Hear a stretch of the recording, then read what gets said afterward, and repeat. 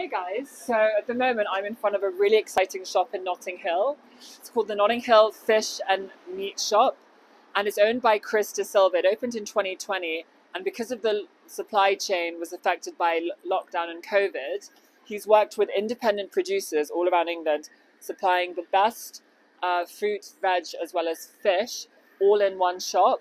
There's another shop here, it's called the Supermarket of Dreams and the most famous products are the happy ending ice cream sandwich. I kid you not, it is actually called that, as well as a lobster spaghetti, which apparently has been very popular.